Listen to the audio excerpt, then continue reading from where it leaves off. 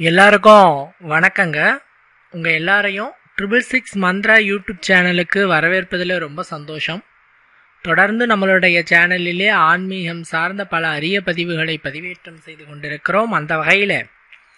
இந்த வீடியோ பதிவிலையும் பார்க்கக்கூடிய ஒரு சிறப்பான ஆன்மீக தகவல் என்னவென்று கேட்டால் தமிழ் மாதமான பங்குனி மாதத்தின் இருபத்தி ரெண்டாவது தேதி ஏப்ரல் மாதம் ஐந்தாவது நாள் புதன்கிழமை திருநாளன்று வரக்கூடிய பங்குனி பௌர்ணமி திருநாளில் வரும் இந்த ஒரு மணி நேரத்தை யாரும் தவற விடாதீர்கள் பயன்படுத்திக் கொள்ளுங்கள்.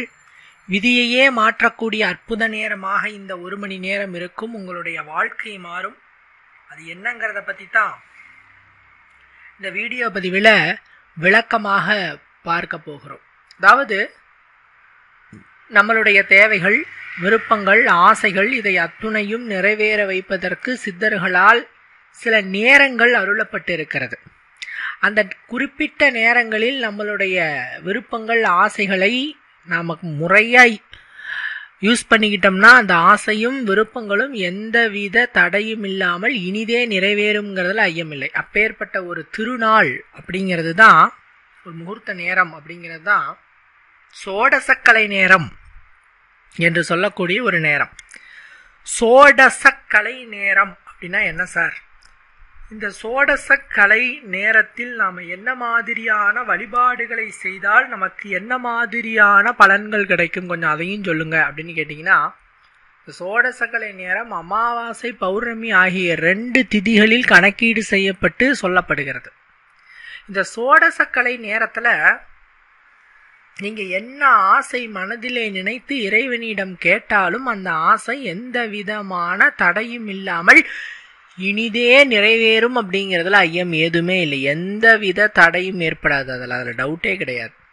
இந்த சோடசக்கலை நேரத்தை தென் தமிழகத்தில் மற்றும் தென்னிந்தியாவில் அதிகமாக யாரும் சொல்லவும் மாட்டாங்க பயன்படுத்தவும் மாட்டாங்க. நம்மளுடைய தமிழகத்தில் இதனை இதனை பற்றின ஒரு அவேர்னஸ் இல்லை. பட் ஆனால் வடநாட்டில் போய் பார்த்தீங்கன்னா இந்த சோடசக்கலையை ரொம்ப இம்பார்ட்டனாக நோட் பண்ணி பயன்படுத்துவாங்க. ஏன்னா அவங்களுக்கு இந்த நேரத்தினுடைய மகத்துவம் தெரிந்திருக்கிறது. இந்த நேரத்தை பயன்படுத்தி அவர்களினுடைய வாழ்க்கையை அவர்கள் மாற்றிக்கொள்கிறார்கள் இன்னும் சொல்லப்போனால் விதியவே மாற்றும் சக்தி இந்த சோடசக்கலை நேரத்திற்கு இருக்கிறது என்று சொன்னால் அது மிகையே ஆகாது. அப்படி என்ன சார் இருக்குது இந்த சோடசக்கலை நேரத்தில் அப்படின்னா படைத்தல் காத்தல் அழித்தல் என்று சொல்லக்கூடிய பிரம்மா விஷ்ணு சிவன் ஆகிய மூன்று தெய்வங்களினுடைய அருள் ஒரு சேர இந்த பூமியில் விழக்கூடிய நேரம்தான் இந்த நேரம். இந்த நேரம் எவ்வளவு நேரம் சார் இருக்கும் அப்படின்னு கேட்டிங்கன்னா வெறும் ஐந்து நொடிகள் மட்டுமே இருக்கும். இன்னும் தெளிவாக சொன்னால் ஐந்து சொடக்கிடும் நேரம் மட்டுமே இருக்கும். ஆனால் உங்களால் இந்த ஐந்து நொடிகளை கண்டறிய முடியாது. ஒரு லாங் டைம் பீரியடை மட்டும் நீங்கள் நோட் பண்ணிவிட்டு அந்த லாங் டைம் பீரியடில் நாம் தவம் பண்ணும்போது பூஜை செய்யும்போது அந்த ஐந்து நொடிகள் அழகாக கிளிக் ஆகும். உங்களுடைய விருப்பமும் தேவையும் நிறைவேறும். இப்போ இது எப்படி செய்கிறது என்னன்னு நான் ப்ராப்பராக சொல்ல போகிறேன் ஃபஸ்ட்டு இந்த சோடச கலை நேரம் அப்படிங்கிறது எப்பப்பெல்லாம் வரும்னு நீங்கள் தெரிஞ்சுக்கணும். அமாவாசை பௌர்ணமி ரெண்டு திதிகளில் மட்டுமே இந்த சோடசக்கலை நேரமானது இடம்பெறும்.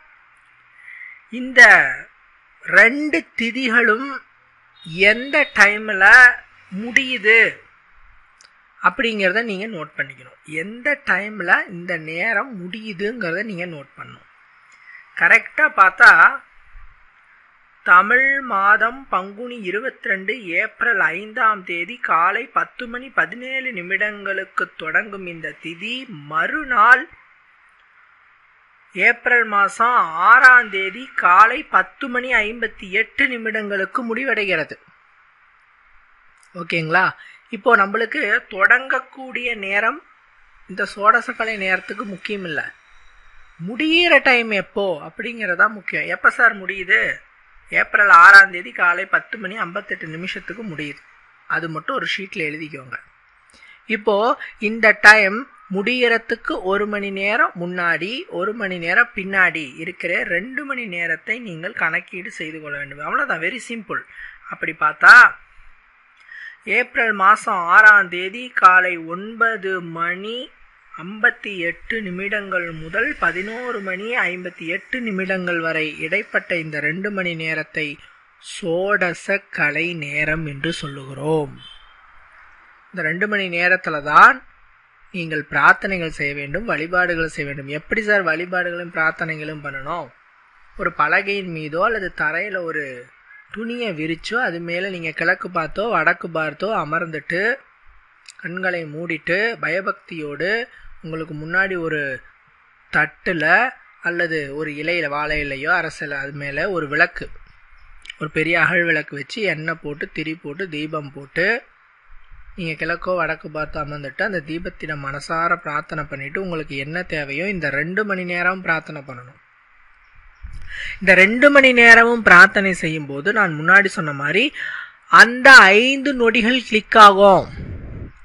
சிவன் பிரம்மா விஷ்ணு என்று சொல்ற மும்மூர்த்திகள் திருமூர்த்தி தெய்வத்தினுடைய அருளை கொடுக்கிற அந்த ஐந்து நொடிகள் கிளிக் ஆகும். அது எப்போ வேணாலும் கிளிக் ஆகலாம். ஆரம்பத்தில் கிளிக் ஆகலாம் நடுவில் கிளிக் ஆகலாம் இறுதியில் கிளிக் ஆகலாம். எப்பொழுது வேண்டுமானாலும் கிளிக் ஆகலாம். இந்த டைம் தான் இந்த டைம் தான் கரெக்டாக கிளிக் ஆகும் அப்படின்ட்டு யாராலையும் சொல்ல முடியாது. அந்த ஐந்து நொடிகள் என்ன நடக்கும் அப்படின்னு கேட்டிங்கன்னா நீங்கள் அந்த ஐந்து நொடிகளில் உங்க நீங்கள் என்ன மனசில் ஆசையை நிறைவே நினச்சிட்டு இந்த பிரார்த்தனையும் வழிபாடுகளையும் செஞ்சீங்களோ அந்த பிரார்த்தனையும் வழிபாடு எந்த தடையும் இல்லாமல் நிறைவேறும் அப்படிங்கிறதுல ஐயம் ஏதுமே கிடையாது. இப்போ இப்படி சொல்லும்போது உங்களுக்கு இன்னொரு டவுட் வரும். இந்த ஐந்து நொடிகளை சொல்லுங்கள் சார் அதை நாங்கள் நோட் பண்ணிக்கிறோம் அப்படின்ட்டு. சித்தர்கள் எந்த ஒரு விஷயத்தையுமே எளிமையாக அடைந்து விடவில்லை.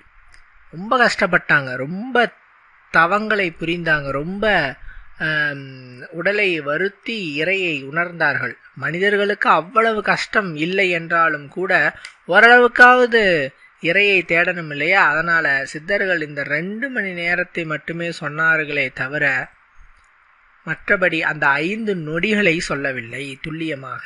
ஏன்னா அந்த ஐந்து நொடிகளை துல்லியமாக சொல்லிட்டா மக்கள் யாரும் இறையை தேட மாட்டாங்க. கரெக்டாக அந்த ஐந்து நொடிகள் மட்டும் இறைவனை பிரார்த்திச்சுட்டு விருப்பமானதை பெற்றுட்டு போயிடுவாங்க. அப்போ என்ன இருக்கு? அப்போ வந்து உழைப்பிற்கும் உள்ள தூய்மைக்கும் ஒன்றுமே கிடையாது இல்லையா? ஸோ அதனால் நான் சொல்கிறேன் இப்போ பார்த்தோம்னு சொன்னால் மனிதர்கள் ஒவ்வொருத்தருக்கும் ஒவ்வொரு ஆசை இருக்கும். அந்த ஆசை நிறைவேறக்கூடிய ஆசையாக இருக்க வேண்டும். ஃபஸ்ட்டு விஷயம் மனிதனால் முடியாதது எதுவும் இல்லை. மனிதன் எதைக்கும் ஆசைப்படலாம் என்று சொன்னாலும் கூட நமக்கு தகுதி என்று ஒன்று இருக்கிறது அல்லவா நம்மால் இதுதான் முடியும். இதை முயற்சித்தால் நாம் வெல்லலாம் என்று ஒரு தகுதியின் அடிப்படையில் ஒவ்வொரு மனிதனுக்கும் இது இது என நிர்ணயம் செய்யப்பட்டிருக்கிறது. நமக்கும் ஒரு நிர்ணயம் இருக்கும். அதுக்கு தகுந்தாற் போல நம்மளுடைய ஆசைகளை நினைத்து அதற்கான முயற்சிகளை செய்து இந்த மாதிரியான ஆன்மீக ரகசிய சூட்சமங்களை பயன்படுத்தும் போது அதிர்ஷ்டங்கள் நம்மோடு சேர்ந்து கைகோர்த்து நம்மளுடைய விருப்பமும் தேவைகளும் உடனடியாக நிறைவேறுவதற்கு வழிவகையாக அது இருக்கும். ஏன் நான் இதை சொல்கிறேன்னா பல பேர் நிறைவேறாத அது ஒரு ஆசையாக இருக்கும். ஏன் என்னால் அதை சாதிக்க முடியாது? இப்போ ஒரு உதாரணத்துக்கு எனக்கு ஒரு நூறு கோடி வே வேணும்னு சொல்லிட்டு இதை பூஜையை செஞ்சால் எனக்கு கிடைக்குமா சார்? அப்படின்னு விதண்டாவாதமாக கேட்குறவங்க நிறைய பேர். நூறு கோடி கிடைக்குமா? எந்த பூஜை செஞ்சாலும் கிடைக்குமா. இறைவனே வந்தாலும் கூட நூறு கோடி நம்மளால வாங்க முடியுமா? சொல்லுங்க பார்ப்போம் ஸோ இப்போ இது மாதிரி பண்ணலாம். நீங்கள் இப்போ ஒரு ஒரு ஜாபுக்கு ட்ரை பண்ணிகிட்டு இருக்கீங்க. நீங்கள் முயற்சியும் பண்ணுறீங்க அதுக்கான ஸ்கில்ஸ் உங்ககிட்ட இருக்குது பட் அந்த ஜாப் கிடைக்கிறதுல தடையாகிக்கிட்டே இருக்கு. அப்படின்னு சொல்கிற போது நீங்கள் இந்த மாதிரியான விஷயங்களை பயன்படுத்தும் போது உங்களுக்கு முயற்சிக்கு ஏற்ற பலன் உடனடியாக கிடைக்கும். எந்த ஒரு விஷயமுமே முயற்சி செய்தால் முடியாதது இல்லை. என்றாலும் கூட வாய்ப்பு என்று ஒன்று தேவை அதிர்ஷ்டம் என்று ஒன்று தேவை. இந்த ரெண்டு இருக்கும்போது தான் விரைந்து நமக்கு அது கிடைக்கும். எதுவுமே கிடைப்பதற்கு கால அவகாசம் என்று ஒன்று இருக்கிறது.